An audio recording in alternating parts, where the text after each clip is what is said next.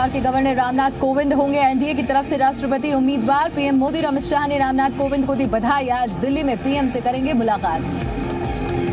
राष्ट्रपति पद के चुनाव में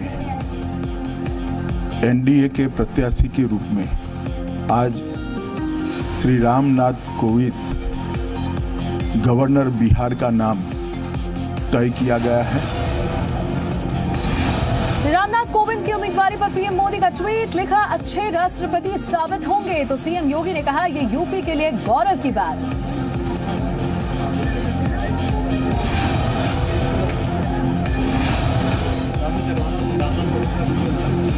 रामनाथ कोविंद को नीतीश कुमार ने दी बधाई, लेकिन पार्टी में चर्चा के बाद ही समर्थन पर फैसला। एलजेपी, टीडीपी, टीआरएस ने कोविंद की उम्मीदवारी का किया समर्थन। रामनाथ की उम्मीदवारी पर कांग्रेस का टिप्पणी से इनकार। सूत्रों के मुताबिक मीरा कुमार हो सकती है विपक्ष की राष्ट्रपति कैंडिडेट। 22 जून को विपक्ष की बैठक। डेरापुर से दिल्ली तक रायसीना में रामनाथ कोविंद। राष्ट्रपति चुनाव की सबसे बड़ी कवरेज सिर्फ़ जी हिंदुस्तान पर।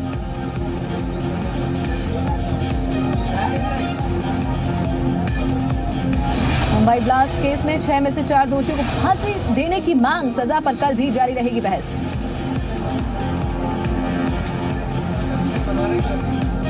दार्जिलिंग में बंद के आठवें दिन भी तनाव गोरखा जनमुक्ति मोर्चा का आंदोलन जारी, कार्यकर्ताओं ने फूका, ममता बनर्जी का पुतला।